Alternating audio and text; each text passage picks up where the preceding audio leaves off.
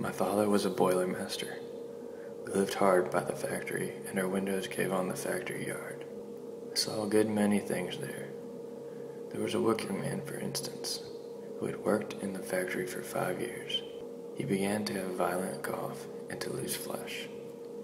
His name was Burmeister, and he was threatened with pulmonary consumption if he worked much longer in the soap factory. The doctor had told him so, but the man had eight children, and weak and emaciated as he was, he couldn't find other work anywhere.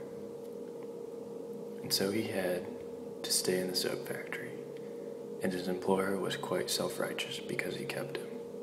One August afternoon, the heat was frightful. Burmeister dragged himself across the yard with a wheelbarrow full of lime.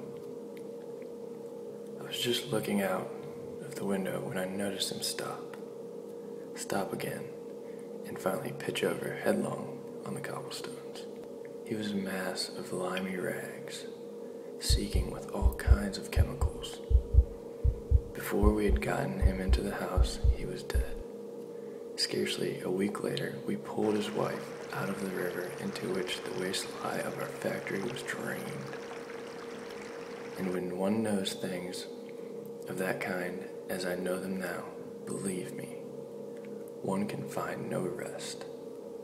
A simple little piece of soap, which makes no one else in the world think of any harm, even a pair of clean, well cared for hands are enough to thoroughly.